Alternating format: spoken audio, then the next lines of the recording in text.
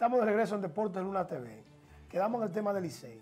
Se supone, Ezequiel, que la liga en el día de ayer hizo una reunión, realizó una reunión a las 10 de la mañana para definir, para definir preliminarmente el roster de los jugadores que iban a México y para presentar el uniforme. No ayer, no me vengan con eso de ayer.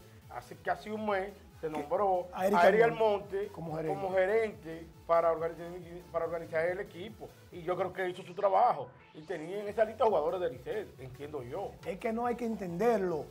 Cada vez que dos equipos terminan una final, son La donde está el del- mayor grueso de esos dos, sí. porque son los que están eh, Más activos, más más activos. Entonces, no me venga usted a mí a decir que no había nadie disponible. Mira, yo porque que ahí hay, ahí hay muchos jugadores en Licey que no tienen trabajo ni en la Liga de Verano acá. Mira, mira, yo lo que entiendo es que la liga debe hacer como está haciendo con el draft.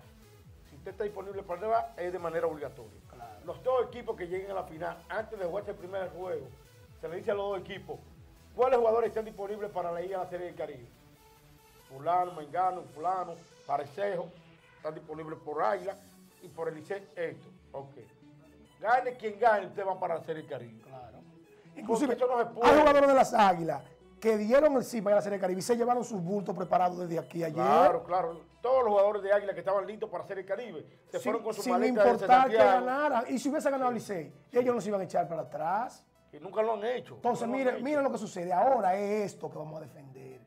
Esto que vea, esto que vamos a defender. Yo veo que eso ha esos sido una- colores. una mediocridad. Esos colores. Por parte de la liga, eh, por parte del equipo de Tigre Licey, no por los jugadores, porque por jugadores, claro, lógico, pero más. Junior Novoa, fue Junior Novoa. Sí, Dígalo, sí, Junior sí, Novoa, fue Junior Porque Yo sé Novoa. que hay jugadores ahí que no son tan, tan mezquinos, tan ignorantes e irresponsables, que no van a, a representar el color de su patria, que con orgullo deben de hacerlo cada vez que salen del Pero país. nada, la suerte está echada. Nosotros vamos a defender esos La colores. estructura que está ahí no tiene nada que envidiarle a nada, ni necesita nada extra. Eso es así. Entonces, va las águilas, los leones, las estrellas, los toros y los gigantes a representar a la República Dominicana. Tenemos ahí el roster disponible. Tenemos el roster para que ustedes vean que no es un equipo- que, están que no es un que equipo salieron, malo. Salieron hoy al mediodía hacia México.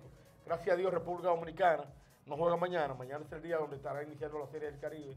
Interesante en México. También tenemos el más- calendario. Donde más se apoya, donde más se apoya la Serie del Caribe en los últimos años es en México. Y ahí Miren el roster ahí. Miren qué dos receptores nos vamos a gastar.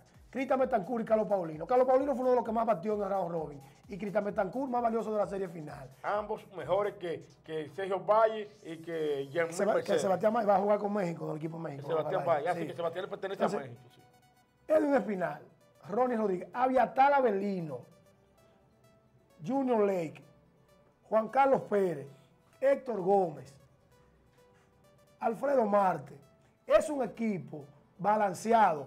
Lo único que ellos tienen que tratar es de llegar en ventaja a la al, al quinto inning. Mira, y lo más importante es el estadio de lanzadores donde tú tienes a un Brian Evans. No se confundan, fanáticos. Ustedes vieron a Brian Evans pinchando con Licey, pero es original de los toros. Es original de los toros. Estuvo eh, en la serie semifinal y final con, con los Tigres, porque fue escogido en el draft De, de importado. De importado después que terminó la serie regular. Ahí está Raúl Valdés, también está Francisco Bueno, Junior Esquimaya, Ángel Castro, que es el encargado de la animación, Joe Judy, Wilfrid Obispo y Ramón Ramírez, tres de los mejores cerradores de la liga. Claro. Pongo del séptimo al noveno. Van los tres. Lo lamentable es no poder tener ahí a un Richard Rodríguez y un Richardson Y Peña. Rafael de Paula es buen, es buen sí, sí, relevista también.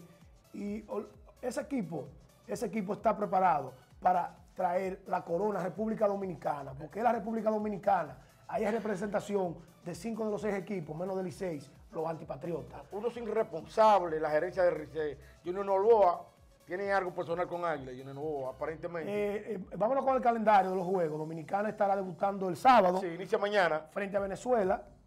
El veterano Freddy García será el Con jugar encargado. cinco equipos, siempre habrá uno que no jugará en el día. Y gracias a Dios, Dominicana. que fue como no previsto, y ese- porque ese calendario está hecho desde hace un sí, año prácticamente, pero como que hubo una previsión ahí.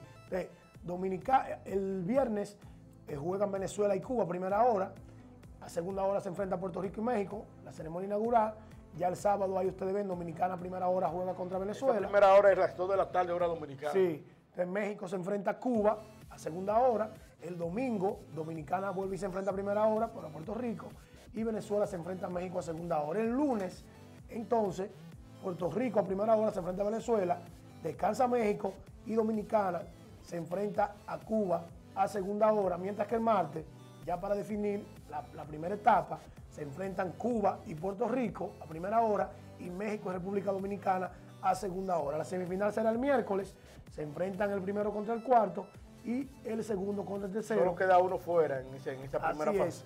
Y el jueves es la gran final, entonces, donde se define el campeón de esta edición de la Serie del Caribe. Los equipos que están representando los diferentes países de República Dominicana, las Águilas Ibaeñas, de, de Cuba, los Alazanes de Granma, de Venezuela están los Caribe de Anzuati, su primer campeonato se lo dio el dominicano, dirigiendo el dominicano Julio César Franco, ya en- cuando la Serie del Caribe fue aquí en Sí, República sí, Dominicana sí. en el 2008. Los criollos de Cagua están representando a Puerto Rico y los tomateros de Culiacán están representando a México.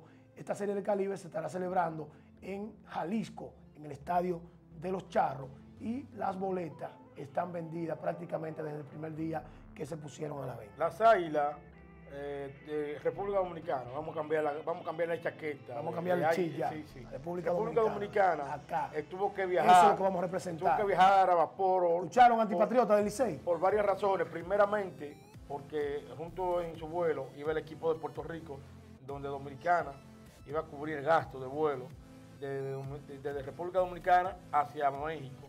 Y así viceversa cuando vengan de allá para atrás. Usted sabe la situación que vive el hermano país de Puerto Rico y por eso entonces Dominicana se tuvo que ir al mediodía junto con ellos. Y dividimos la carga, vamos, Entonces- vamos a liviana. Puerto Rico juega mañana y juega temprano, por eso tuvieron que irse. Ya el equipo dominicano descansa esta tarde, descansa en la mañana. mañana debe de practicar la mañana, me imagino.